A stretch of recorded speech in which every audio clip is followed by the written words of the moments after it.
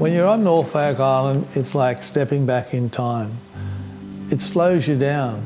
Truly is a Pacific jewel and an amazing place to go and visit.